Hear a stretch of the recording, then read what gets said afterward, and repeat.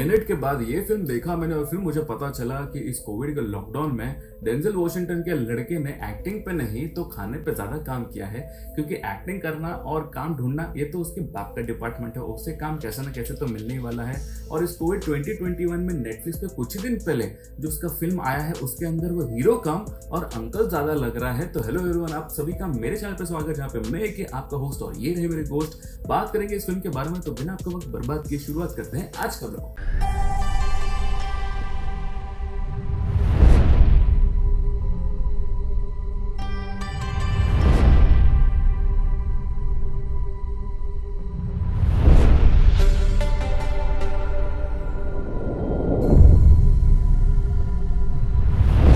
मैं बात करने वाला हूँ, कुछ ही दिन पहले नेटफ्लिक्स पे आया हुआ फ़िल्म जैसे मैंने पहले ही कहा था बैकेट के बारे में। स्टोरी कंसेप्ट और प्लॉट सब कुछ अच्छा है, लेकिन लीड कैरेक्टर की वजह से मुझे फ़िल्म बिल्कुल पसंद नहीं आया।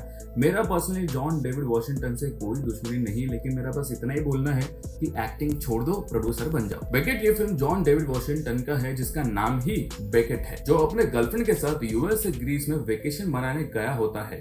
घूम फिर के एक दिन आते वक्त, क्योंकि बहुत ही थके रहे होते हैं और लंबा ड्राइव भी करना होता है, और इसमें हमारे प्रोटोगनिस्ट की आँख लग जाती है और दुर्घटना घट जाती है। रोड से गाड़ी स्लिप होकर जाके छोटे से घर में टकराती है, जहाँ पे एक औरत और एक लड़का। रह रहे होते हैं, लेकिन उसकी गर्लफ्रेंड ऑन द स्पॉट मर जाने के बाद उसे बहुत बड़ा शॉक लगता है हॉस्पिटल से सीधा उसी शॉक को लिए वो एक्सीडेंट स्पॉट पे जाता है और वहाँ पे जाकर कोई उसके ऊपर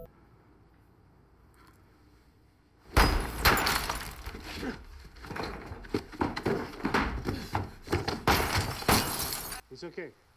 Be fine.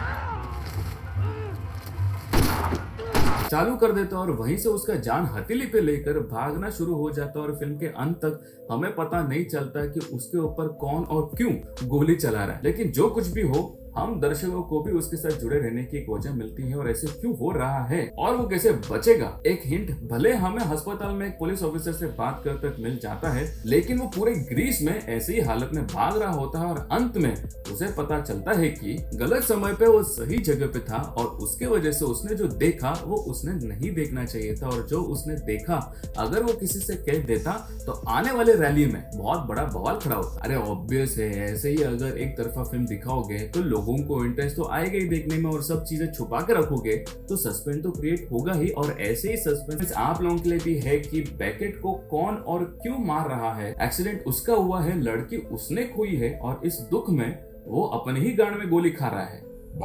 फ़िल्म एक्शन में सस्पेंस बनाए रखती है और अंत तक आपको इसके सच का पता नहीं चलता और जब आपको लगे कि आपको इसका पीछा कौन और क्यों कर रहा है ये पता चल गया है वहीं पे नया राज खुल जाएगा और फिर से लीड हमारे साथ उसी सुलझे हुए गुत्ती में उलझ जाएगा। ये सब हंगामा देखने में आप लोगों को बहुत ही अच्छा लगेगा और मुझे भी बहुत ही पसंद आया, लेकिन इस लीड हीरो की एक्टिंग मुझे बिल्कुल भी पसंद नहीं आई, बहुत ही डल है और मुझे ऐसे लगा कि वो और एक्टर को लेते तो और अच्छा होता। और इस फ़िल्म के अंदर ये एक आम आदमी है, इसलिए हमें ज़्यादा एक्शन देखने को नहीं मिलता है, लेकिन इसके रिफ्लेक्सेस एक आम आदमी जैसे बिल्कुल भी नहीं है फाइटर जैसे है। तो अगर आपको एक चीज़ दिखानी है तो थोड़ा ढंग से तो दिखाओ, ऐसे लोगों को है ना, अंधेरे में रख के चूतिया मत बनाओ, उससे कोई फ़ायदा नहीं होने वाला है। लेकिन डायरेक्शन और सिनेमेटोग्राफी मुझे इस फ़िल्म का बहुत ही पसंद आया और एक्टिंग के अलावा सबसे ज़्यादा घटिया, एकदम लो बजट और पथेटिक मुझे इस फ़िल्म का है ना म्यूज़िक लगा। एक बार आप वॉशिंगटन की घटिया एक्टिंग को सेंड कर लोगे, लेकिन इस म्यूज़िक को बिल्कुल भी नहीं, थोड़ा और पैसे इन्वेस्ट करते ना अच्छा म्यूज़िक मिलता है।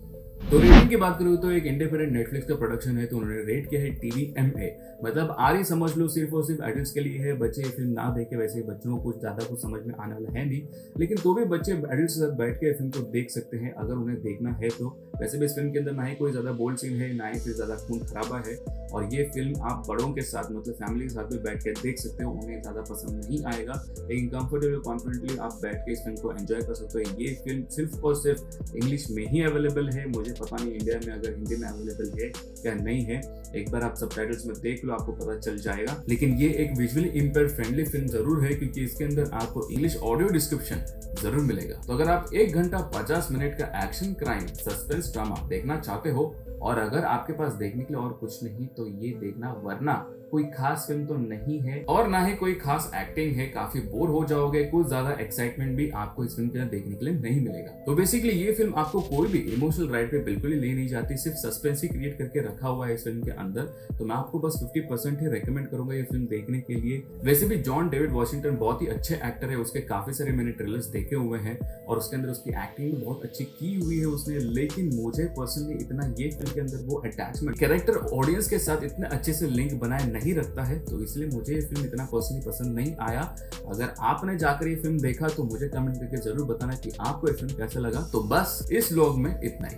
अगर आपको मेरा ब्लॉग या मेरा चैनल पसंद आता है तो इसे लाइक से सब्सक्राइब ज़रूर कीजिए। सब्सक्राइब होने को घंटे का आइकन दबाने का, उसका बेल आइकन दबाने का, ताकि मेरे जब भी नए नए ब्लॉग्स आते हैं तो आपको नोटिफिकेशन पहुँच जाता है। और अगर आप मेरे चैनल पे नए हो या मेरे दूसरे ब्लॉग्स भी देखना चाहते हो तो ऊपर आए बटन पे या फिर एंड स्क्रीन में उसके लिंक्स आ रहे हैं, आप वहाँ पर भी जाकर क्लिक करके देख सकते हो।